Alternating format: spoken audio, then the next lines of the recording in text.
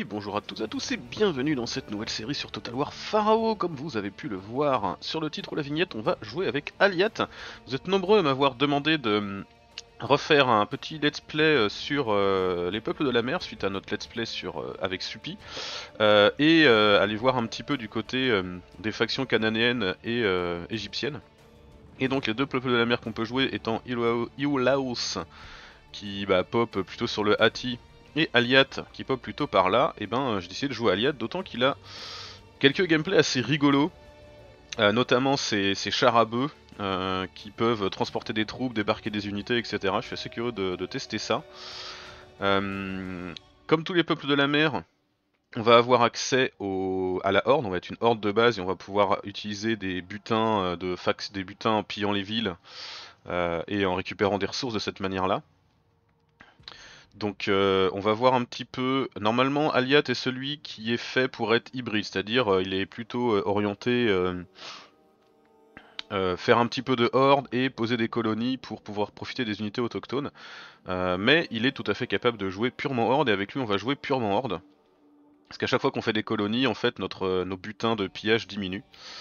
Je vous remontrerai ça quand on, quand on sera lancé. Alors que Iolaos, hein, lui est clairement plus orienté euh, vraiment pur pillage, même s'il peut, tout à fait euh, prendre des colonies. Du coup, je pense qu'avec Aliat, on prendra la voie des maraudeurs si on peut. Alors que normalement, il conseille de prendre euh, forger votre propre voie pour pouvoir trouver un équilibre entre nomade et sédentaire. Mais on va essayer de prendre plutôt une voie qui privilégie le pillage puisqu'on va rester complètement en, en mode horde avec euh, sur cette campagne. Donc pas de Chocho City, pas de citadelle de Falseag, désolé euh, pour, euh, pour Chobiti et Falseag. Euh, mais on peut construire des camps, donc on verra si on peut renommer les camps quand même. On va jouer en difficile, difficile, avec les mêmes paramètres par défaut que la partie précédente. C'était, je trouve, plutôt équilibré, le challenge était assez intéressant. C'est parti. Alors, je vais vous couper la cinématique parce que c'est la même que pour les trucs standards et que du coup, bah, c'est pas très pertinent. Enfin, ça reste pertinent historiquement, mais ça n'introduit pas plus que ça euh, Aliat. Par contre, je vais vous laisser la, petite description de faction euh, quand on quand on charge. Il est plutôt classe. Tu sens que c'est le mec euh, qu'on a vu, on n'a pas envie de l'emmerder. hein.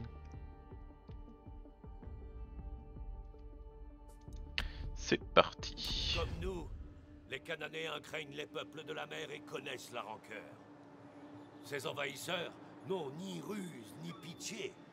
Pourtant, il y a les Pélécètes, dirigés par le puissant Aliat.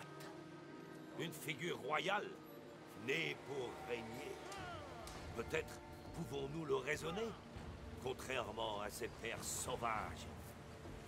Les rumeurs disent que les Pélécètes ont été chassés de leur terre d'origine. Aliat a juré de leur en trouver une nouvelle. Entre la mer des vivants et celle des morts.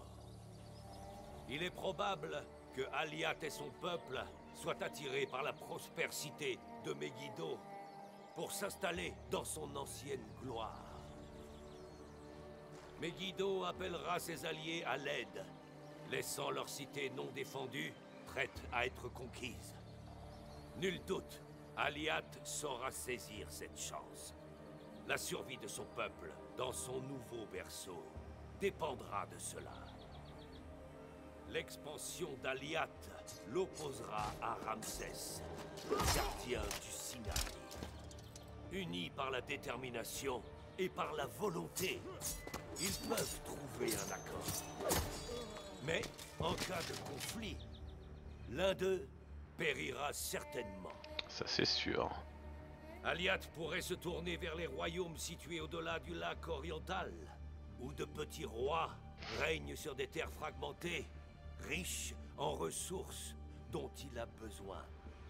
S'il veut prendre le contrôle de leurs richesses, la conquête et le pillage l'attendent.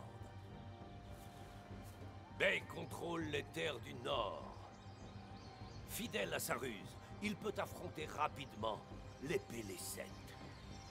Ou peut-être les piéger avec de belles paroles pour profiter de leur force. Puissant et déterminé, Aliat ne veut que le meilleur pour son peuple. Il laissera son empreinte sur Canaan. Il a gagné mon respect et ma crainte, car il pourrait devenir une menace pour l'Égypte si la couronne devenait plus attrayante que la simple survie. Ok, c'est parti. Donc on a le petit résumé de faction au départ. hein. Euh, je vais les afficher tous euh, si vous voulez mettre pause pour regarder un petit peu les détails. Mais globalement, euh, on va avoir la possibilité de construire des villages sur les avant-postes de nos ennemis, même si la- le territoire ne nous appartient pas, euh, qui vont être capables de popper des armées si jamais l'ennemi décide de les détruire. On a accès aux dieux PL7, euh, à des titres euh, spéciaux pour renforcer nos, nos unités, que ce soit autochtones et de horde. Et au niveau de la cour, euh, on va plutôt utiliser de l'or que de l'estime pour nos actions, mais par contre elles seront un petit peu plus costaudes. Donc, on commence avec Aliat, avec euh, une massue, un bouclier, très bien. On a des marins de renom ici, des envahisseurs à la hache, des marins pas de renom, du guerrier à deux mains euh, à poil et un frondeur, très bien. Euh, donc j'en profite, comme on m'avait posé la question à la fin de la série sur Suppi pour le- les couleurs et les symboles. Je sais plus si j'en avais parlé effectivement avant, mais je le redis là au début de série. Euh, les symboles, donc rond, losange, carré, représentent le type d'unité légère, lourde, enfin légère, moyenne ou lourde. Donc là, en rond, c'est les légères. En losange, c'est les moyens, et les carrés, ce sera les lourds. Donc là, on n'en a pas. Le général euh, a ses petites fioritures autour de son icône, qu'il soit rond, carré ou, losange. Euh, et la couleur, par contre, c'est le tiers. C'est-à-dire que de base, on a des unités tiers 1, on voit ici, hein, ni- tiers 1, tiers 2. Euh, quand on arrive au tiers 3, ça devient euh, comment, euh, argenté. Et après, on est sur du doré. Le général est toujours doré. C'est à ça que les couleurs vont. On va du bronze vers le vers l'argenté, vers le doré quand on quand on monte en tiers quoi. Et après bien sûr on a les niveaux que chaque unité va prendre avec l'expérience. Donc on affronte Pagat avec une armée de 7 également, euh, qui a des recrues avec piégeuses. Cette unité est capable de se fondre dans tout type de décor, même dans les terrains difficiles. Ok, donc ils sont capables de se, caler, de se cacher, ils ont une bonne vitesse de bataille, pourquoi pas. Il a des renforts derrière, mais ils sont un peu loin. Donc là l'armée on voit, hein, comme toujours au début, elle, est, euh, elle est brisée, là, il y a des petites fissures, c'est-à-dire qu'elle ne peut pas se déplacer, donc elle s'enfuira pas. C'est les premiers, les premiers combats à chaque fois. Donc comme nous le disait l'intro, on a Bay ici, mais je pense qu'on va pas aller le voir. À mon avis, notre objectif ce sera soit d'aller vers là, soit de descendre peut-être direct en Égypte. Mais je pense qu'il va falloir qu'on se renforce un peu avant d'aller en Égypte. Euh, on a donc une armée de horde, donc on a des bâtiments. On a des travailleurs du camp euh, qui remplacent en gros la, la main d'œuvre des villes. Et on va pouvoir construire des bâtiments, par contre quand on construit des bâtiments, euh, ça nous consomme, on doit absolument passer en, en mode campement. Et pour passer en mode campement, enfin cantonnement de horde, ça nous consomme 50% de mouvement. Donc il faut qu'on fasse toutes nos actions en conservant 50% de mouvement si on veut construire des bâtiments à la fin du tour. Euh, idem pour le recrutement, on va pouvoir recruter directement à partir de nos, de nos bâtiments euh, de base. Et on a accès donc en termes de gameplay euh, spécifique aux hordes, enfin au peuple de la mer plutôt d'ailleurs, parce que même si on n'est pas une horde on l'a, euh, le butin de guerre. Donc le butin de guerre, je l'avais euh, rapidement présenté dans ma présentation de la mise à jour, mais on va en parler un peu plus en détail. En gros, ça se décompose en trois parties. On a les prix, les ressources et le rang. Donc les prix et les ressources sont relativement similaires. C'est des récompenses qu'on obtient euh, selon euh, quand on pille des villes en fait. C'est-à-dire que si on regarde sur la carte, les différentes villes, elles ont toutes un petit icône que les autres factions n'ont pas, qui est le petit icône jaune à gauche qui en fait nous dit, euh, nous en tant que faction Peuple de la Mer, si on rase cette ville, on va avoir ce bonus. 450 d'or ici, vision sur le royaume, donc là de baie pendant euh, 10 tours. Ici on aura de la pierre. Ici on aura de la nourriture, etc. Donc on va avoir très peu de bâtiments de production en tant que horde. Euh, on va vivre donc probablement beaucoup à crédit et il va falloir qu'on pille pour pouvoir récupérer des ressources. Et euh, les bâtiments, enfin la, la horde coûte très cher en or, contrairement aux autres factions au départ. Donc il faudra qu'on fasse attention à ça. Et c'est là que le rang va jouer, c'est-à-dire que le rang de base on est rang 5, et plus on va avoir de colonies euh, physiques, donc on aura conquises, plus le rang va baisser. Donc là on voit hein, entre 1 à 3 colonies on place rang 4, euh, après rang 3, rang 2, rang 1, rang 1 étant le minimum. Et ça va jouer sur la quantité de, hum, de butin qu'on va pouvoir prendre. Si on prend par exemple les ressources, on voit que plus la colonie est de niveau élevé quand on la rase, plus on va avoir des ressources. Et en plus, plus le rang est élevé, plus on a des ressources. Donc par exemple, là, on compare hein, entre une colonie de rang 5 qu'on pille avec un rang de, butin de guerre de niveau 5, on ramasse 14 000 de nourriture, contre euh, 4 000, voire 0 si on a euh, 10 colonies ou plus si on est rang 1. Donc du coup, euh, nous c'est pour ça que je disais, on va essayer de jouer purement, euh, purement pillage, on va pas s'établir. À part nos petits villages qu'on mettra peut-être euh, à droite à gauche pour, euh, couvrir nos arrières. Mais euh, globalement l'objectif ça va être de, jouer pillage et donc de profiter au maximum du rang. Donc ça c'est pour les ressources, à chaque fois le, jeu nous propose de dire bah voilà on a besoin de nourriture, quel est le plus proche? C'est ici, ça c'est assez sympathique. Donc si jamais on est vraiment en dèche d'une ressource, on peut assez facilement trouver sans devoir parcourir la map et regarder chaque ville. Et au niveau des prix, ceux-là pour le coup c'est vraiment des bonus spéciaux. Donc on a vu déjà il y avait une ville avec des éclaireurs ici. Euh, mais on peut trouver des auxiliaires, donc euh, par exemple là en rang 5, si on rase une ville de type auxiliaire, on va avoir 3 auxiliaires rares, plus 15% de chance d'un auxiliaire unique direct. Donc euh, voilà, c'est cadeau. Alors en général c'est des villes qui sont assez rares hein, pour ce bonus là, et qui sont assez grosses, principalement de ce que j'ai vu les centres de culte. Enfin les, pas les centres de culte, les... si les centres de culte, pas les terres sacrées mais les centres de culte, les trucs justement un peu plus gros. On peut aller récupérer des travailleurs de camp, on peut aller récupérer des guerriers autochtones. Donc ça c'est assez sympa, c'est-à-dire que même en étant pillard, on pourra avoir des unités autochtones si on le souhaite sans avoir besoin de bâtiments dans des colonies. Les éclaireurs on a vu, qui nous donnent de la vision sur le royaume qu'on est en train de piller, donc ça peut être assez pratique pour, euh, pouvoir savoir euh, les mouvements de l'ennemi. On peut avoir des, de l'XP pour le général, avec le terrain d'épreuve, et on peut avoir des provisions de guerre, qui est en gros un, bonus, normalement on peut le voir, voilà, qui augmente notre déplacement, nos ressources de rasé, diminue notre entretien, etc. Donc ça, ça peut être pas mal de l'avoir un peu tout le temps euh, actif, mais bien sûr, bah, ça dépend des villes à piller. Là, par exemple, ça la première est assez loin, donc on ne va pas aller la chercher tout de suite. Voilà en gros pour euh, le gameplay vraiment horde on va dire, le reste est assez classique, hein. on va avoir un héritage, une voie du pouvoir, on va avoir la cour qui pour le moment sont déverrouillés, les dieux bien sûr. Pour l'instant on a accès à la diplomatie, qui va probablement pas nous servir beaucoup dans ce, dans ce let's play, peut-être pour un peu de commerce avec les gens qu'on n'attaquera pas. Euh, et on a des décrets. Euh, donc les décrets de base, on peut déverrouiller la voie des peuples de la mer, excellent et déverrouiller la capacité à occuper des colonies, moins utile.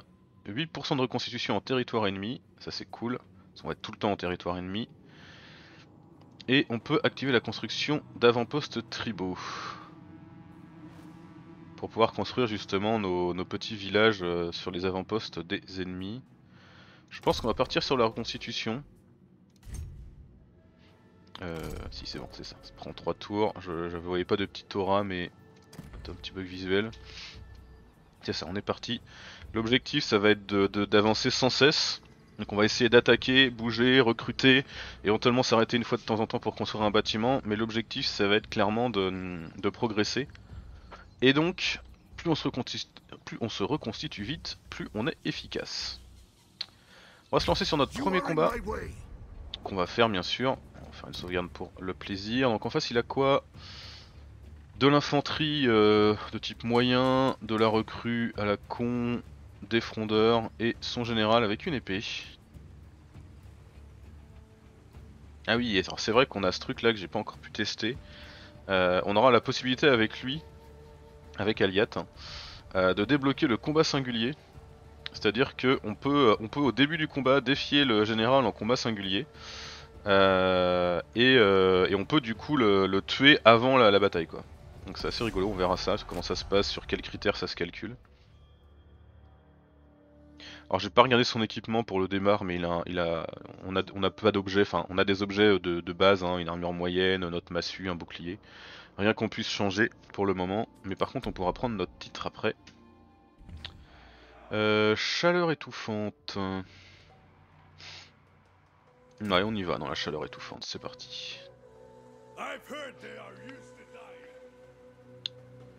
Euh, alors, il a mis ses recrues devant, donc là il a plus de frondeurs que nous, ce qui est un peu dérangeant. Il a mis ceux-là là, donc ils vont devoir faire un gros détour. De notre côté, du coup, on va prendre notre unité d'élite plutôt pour tenir sa, son unité de, de pas milice, on va dire. On va faire une ligne avec notre général et nos deux épéistes.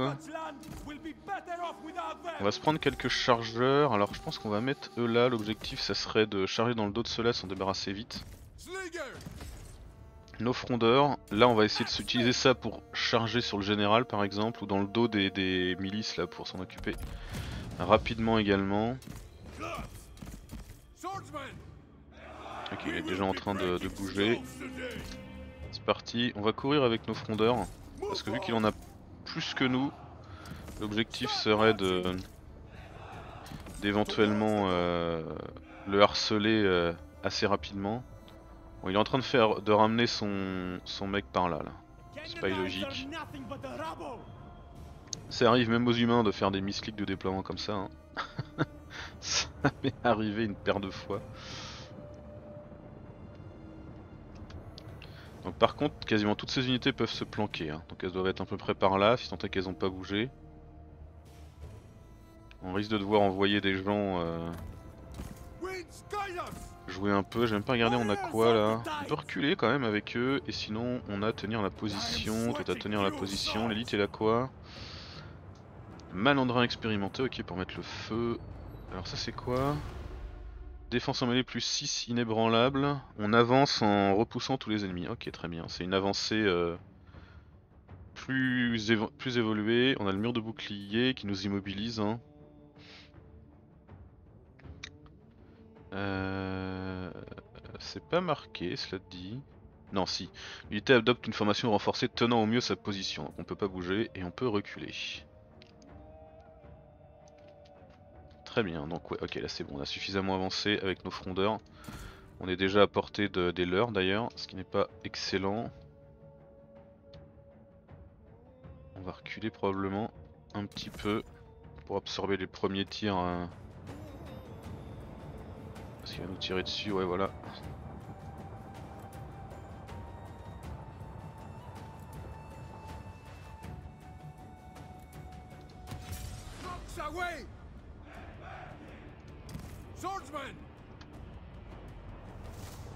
Alors on va rentrer à portée de ces frondeurs avec nos,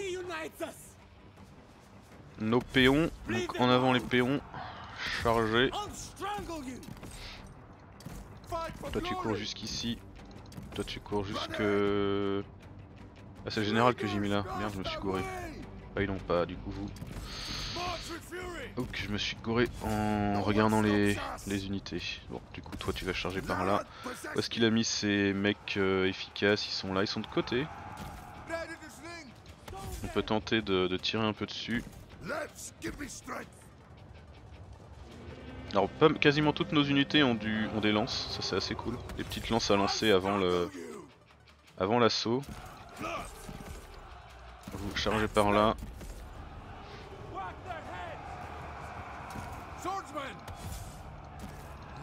On va envoyer le général sur ça, tiens d'ailleurs vu qu'on a une ouverture. Vous tirez par là. Là on va aller neutraliser ça. Un petit peu trop loin encore. Parti, on les prend en sandwich. Vous courez jusqu'ici. Ok, on a réussi à bien choper leurs frondeurs avec des unités qui vont les défoncer. Là, on va aller se mettre dans le dos avec les mecs à la hache. Ça devrait les piquer un peu. Allez, c'est parti, charge.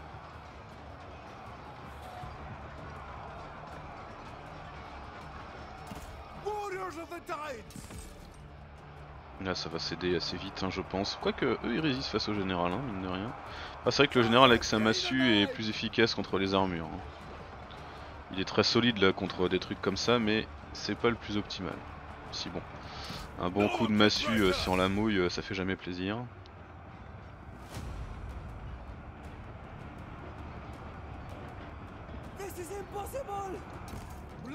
Ok, essayez de tirer un peu sur ça vous. Là on va se replier sur le dos de ces gens également. C'est la déroute au milieu, il reste plus que ces unités un peu efficaces mais sont fatiguées, en train de perdre. Stone set! Le moral est en train de remonter sur celle-là, on va leur balancer quelques petits cailloux pour les, inciter à courir. On les a bien bien cernés là. Ouais. Ils sont bien bien enfermés. Voilà, quelques cailloux et euh, le moral euh, tout de suite c'est plus compliqué.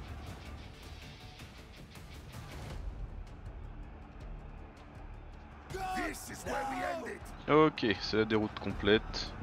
Alors normalement son armée était en fissurée donc elle devrait décéder direct.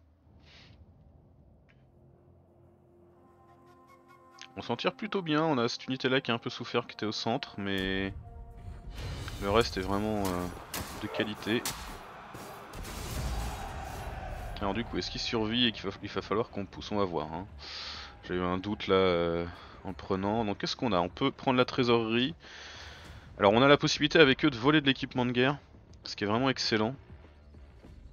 Par rapport au petit euh, bonus de morale classique qu'on a avec le choix du milieu, eux ils peuvent carrément avoir plus d'armure pour toute l'armée, dégâts en mêlée, dégâts en mêlée perforants et du moral. Et on peut aussi avoir les accueillir, donc là on va prendre de la reconstitution et en plus on a des, hum, des travailleurs en plus pour la la- la- l'armée. Mais vu qu'on n'a pas trop souffert, je pense qu'on va prendre ce bonus là. Et elle disparaît, on est d'accord, très bien. No one shall deny my people a new home. Alors oui, Shobiti me signale que j'ai pas parlé de, hum, des conditions de victoire de la campagne.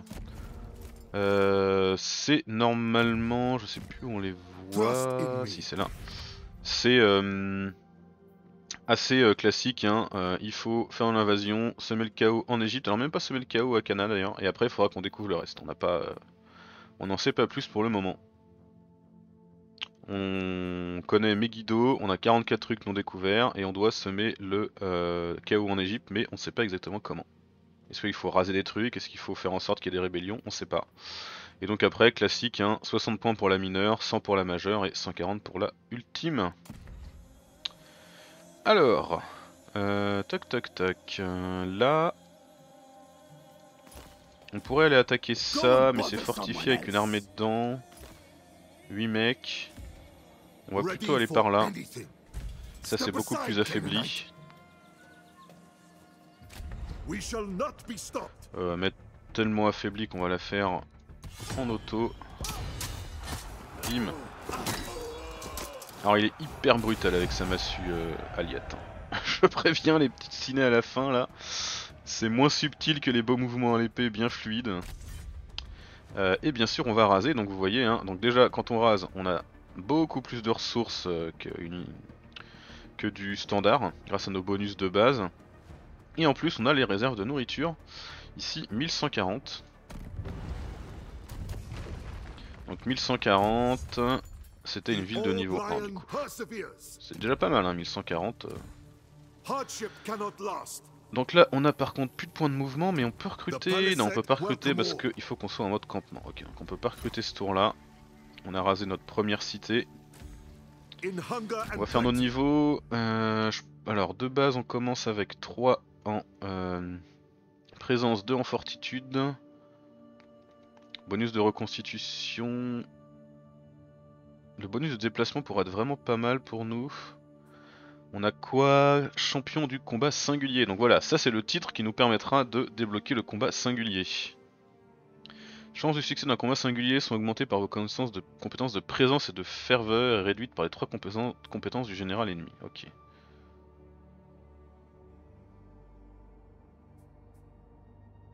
Destructeur des mers. Ce serait pas mal, on pourrait l'avoir si on allait chercher ça. Et champion du combat singulier, qui est un truc spécial pour lui avec ses bœufs.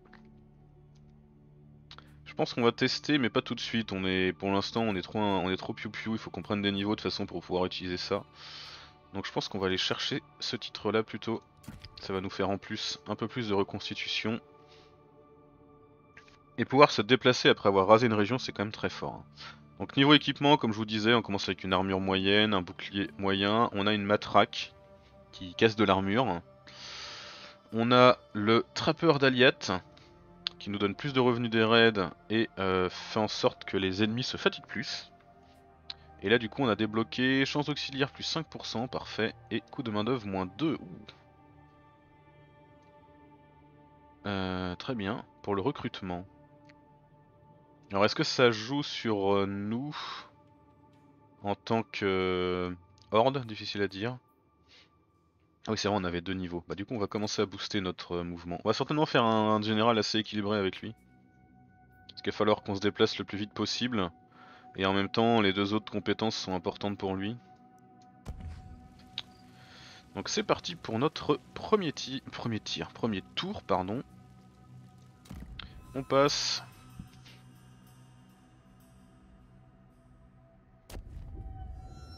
Et on va pouvoir aller voir un petit peu comment ça se passe par là-bas. Il a quitté la région, mais si on attaque, il y a la- l'armée qui vient en renfort.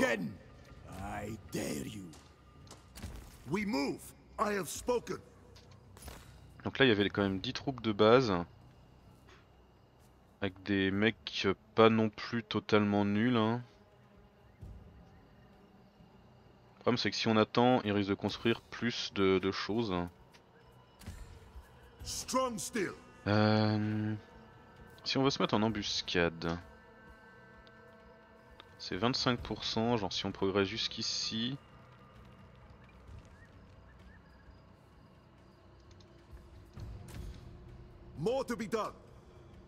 Ou alors je me mets genre par là. Alors je peux pas trop m'éloigner, mais il faudrait que je sois juste hors de portée de la ville. Voilà. Et là on se met en mode campement pour lancer des petites constructions et euh, du recrutement. Alors au niveau des bâtiments qu'on peut faire, on a pas mal de bâtiments de gestion, de l'entretien de l'XP, de la reconstitution de la croissance, plus de munitions et moins de coûts de recrutement, du rang de recrutement et du moral, et du déplacement, excellent. On peut recruter de l'infanterie de choc. Ok, ça nous ouvre deux, recrutements avec des haches.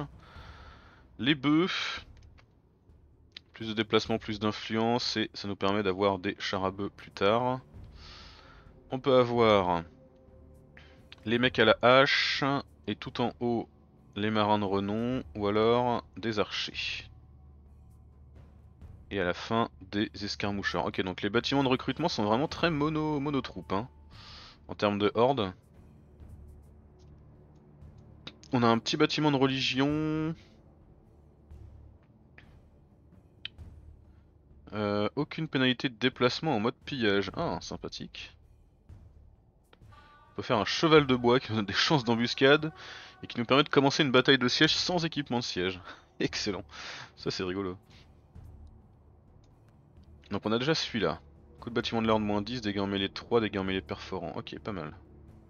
Et l'autre qu'on peut faire, 30 d'XP par tour pour toutes les unités et rang de recrutement plus 1 pour les généraux. Et ça, c'est le bâtiment unique de la faction.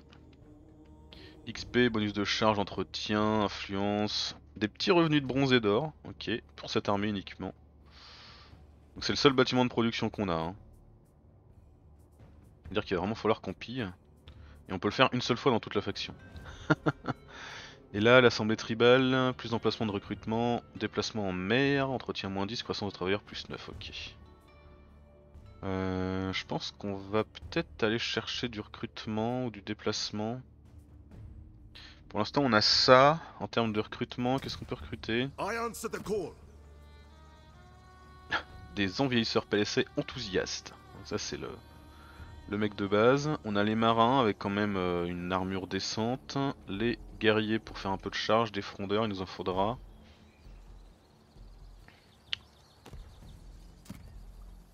Hmm. Pouvoir être en pillage, c'est pas mal. Hein. Le pillage. Par contre, du coup, on est essoufflé. On génère un petit peu de, de ressources. Ça donne un peu d'XP à notre général. Ouais, c'est- sympa, mais c'est pas non plus une priorité.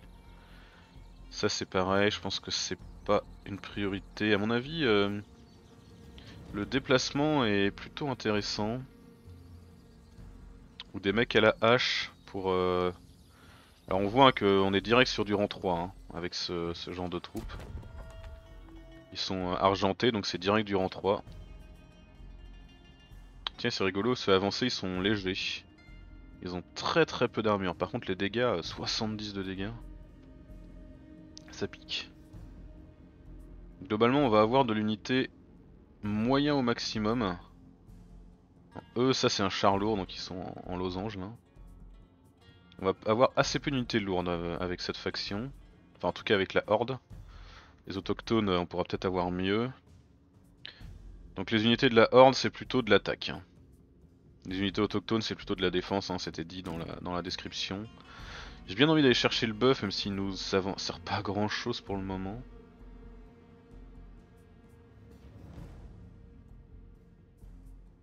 On va chercher euh, de, la, de la troupe de choc. Allez, on va chercher de la troupe de choc pour le plaisir. C'est parti.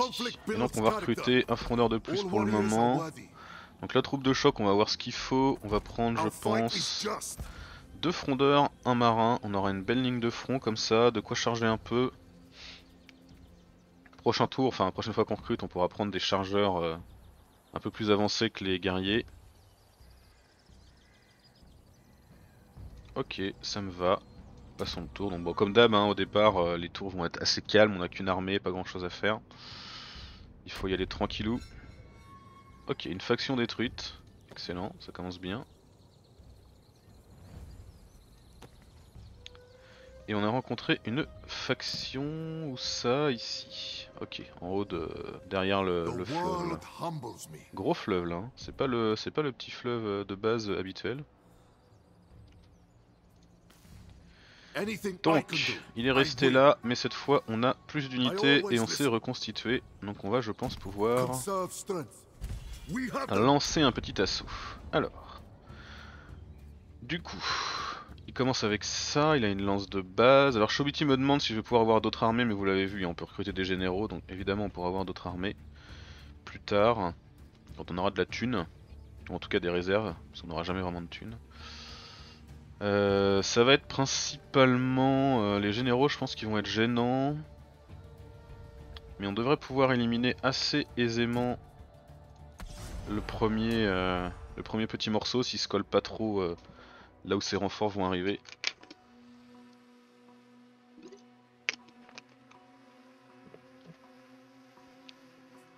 Hop là. Temps sec, très bien, ça me va. Ok, il s'est placé là, donc on va pouvoir le charger direct. On va mettre les frondeurs devant. Ceux qui vont courir pour aller mettre un petit peu de fessée. Le mec de renom il est où? Au centre, ok pas mal, le général. Donc ça c'est le guerrier, le général il est à l'arrière, on va le mettre devant.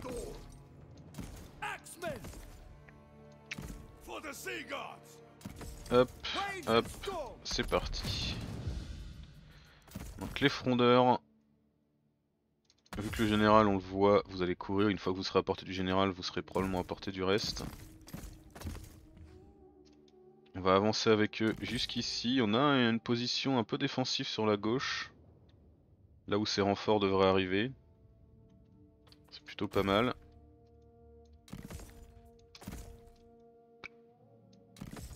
En avant. En plus il vient vers nous.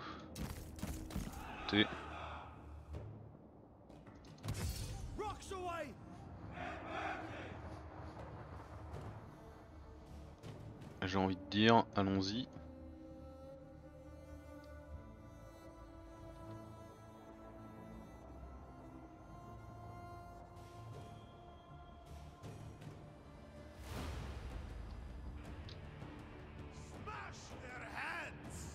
Allez, normalement, même avec le...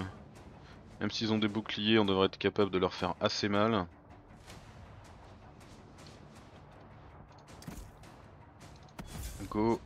Les mecs d'élite. Go sur le général. Vous courez, on va essayer de vous envoyer euh, charger ça.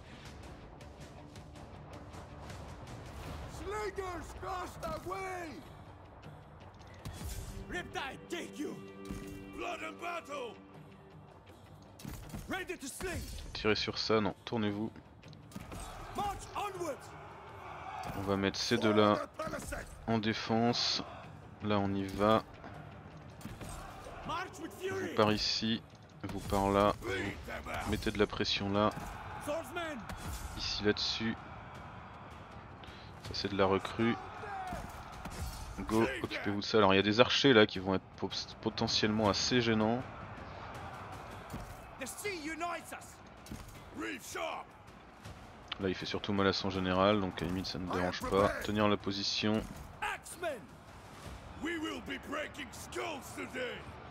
Oh, les recrues, euh, le moral se fait dépouiller avec les cailloux. Tenir la position. Le général ici est mort, c'est excellent. Là on a chopé cela, le moral chambranle. Il est en train d'essayer de de contourner notre unité là. Et il fait demi-tour, excellent. Passer par là, les unités d'élite, go. Ils sont en déroute totale là donc on va pas s'emmerder. Pareil, charger par là pour renforcer un peu. Ici ça va céder. Alors les frondeurs, j'aimerais que vous vous occupiez des archers. Est-ce qu'ils sont très à l'arrière?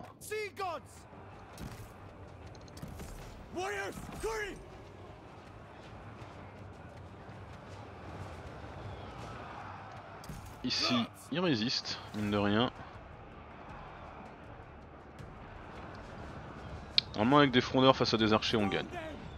Ils ont une belle armure, cela étant dit. Occupez-vous de ça. Là vous, Axemen! faut lâcher la, position et y aller parce qu'on a notre général qui est quand même un petit peu sous pression. Ici c'est la déroute et malheureusement on peut pas vraiment euh, rejoindre là le combat. Donc en avant. On les fait courir un peu ici. Ça me convient plutôt bien. Eux ils vont probablement se reformer mais on les a euh, divertis suffisamment longtemps. Ok, il faut faire demi-tour et aller soutenir par là. Ils sont bien dans la pluie de cailloux. C'est excellent. Ah, là ils se sont formés, ils sont cachés du coup.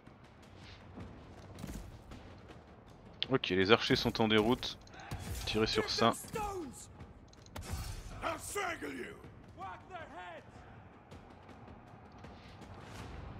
Parce que c'est pareil, hein, les escarmoucheurs on les connaît, s'ils nous tirent dans le dos ça va être désagréable. Ok, le moral commence à, à céder. Pour l'instant Aliat n'est pas tombé, c'est plutôt bien. La charge dans le dos a fait le taf.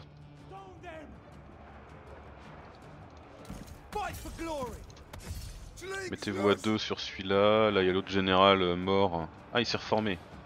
J'avais pas fait gaffe qu'il s'était reformé. Je pensais qu'il était en déroute complète, mais non, ça doit être la tête de mort. C'était pour le... le général mort. Ok, bon là, ils vont nous faire une charge assez désagréable. Dégagez-vous ici.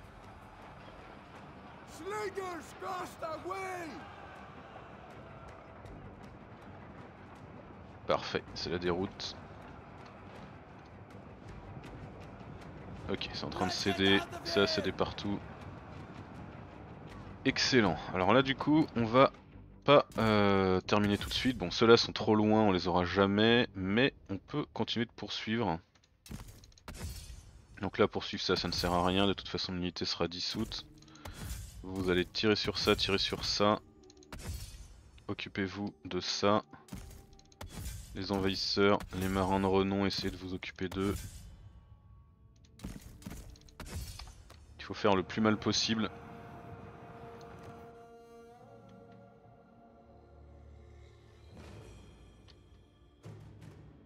Vous là, vous faites rien.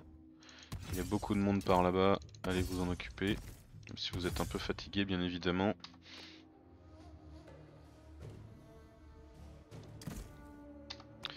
Là, euh, allez-y, euh, vous êtes en... en vrai. Vous êtes plutôt du léger vous, donc euh, vous pouvez poursuivre ces gens. Pareil pour vous.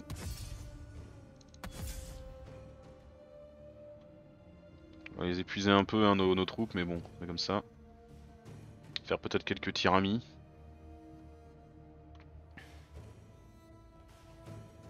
Allez, on les rattrape, on en neutralise le maximum. Là, le général malheureusement va réussir à s'enfuir. Pourquoi vous remettez à tirer vous Stop. Le général est obligé de faire le tour parce qu'il y a de la, il y a, y a du rocher là. Chopez-le. Engluez-le un peu là. Parfait. Excellent, excellent, excellent. Il est mort. Et bah fin de la bataille du coup. Victoire héroïque, carrément. Assez rare ça, une victoire héroïque, ça fait plaisir. C'est vrai qu'on a quand même très peu souffert. Hein. J'ai eu un peu peur pour Aliat à un moment, qui était quand même bien au milieu de la baston. C'est vrai qu'ils ont surtout des épéistes en face.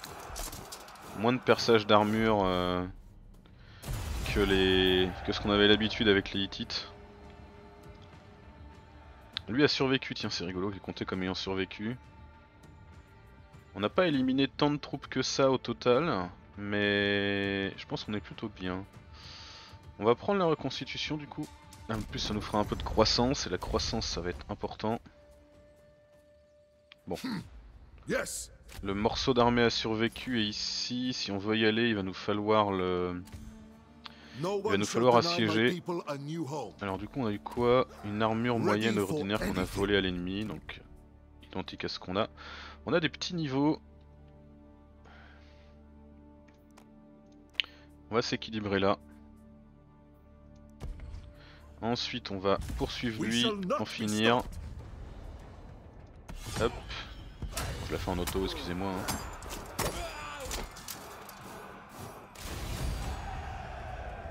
3% c'est pas si mal, mais là on a toujours le même bonus. Hein. Plus 8, plus 10, plus 10, plus 8. Quelle que soit la quantité d'ennemis tués, donc on va prendre ça. Niveau 6, oh la vache, il... il est pote hein.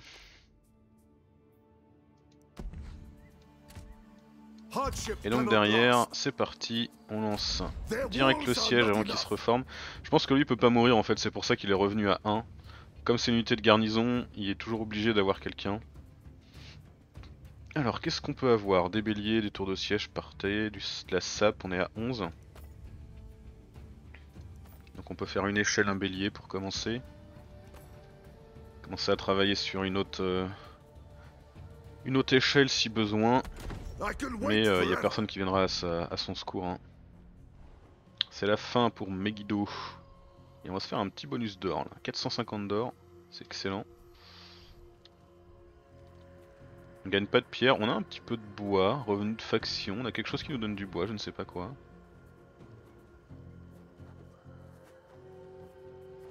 Ah oui, on a le, soutien au départ, oui c'est vrai, pendant 18, tu- 18 tours on a un petit peu de soutien là. Ah donc quand ça va diminuer là, ça va disparaître là les soutiens de nourriture là? Euh, ça va piquer. ça va piquer, moins 1000 là. Ça va piquer. Ok très bien. Du coup on va arrêter ce premier épisode là, il était un petit peu long mais on avait quelques trucs à faire au départ. J'espère que ça vous a plu, n'hésitez pas à me dire ce que vous en avez pensé, n'hésitez pas à donner des noms. On va pas avoir de ville mais on va pouvoir renommer nos régiments si on le souhaite. Et on a quand même quelques régiments déjà qui, qui- qui sont très très prometteurs. Donc n'hésitez pas à me dire si vous voulez rejoindre l'aventure, soit en général, soit en régiment, et on se dit à très vite pour la suite. Ciao ciao tout le monde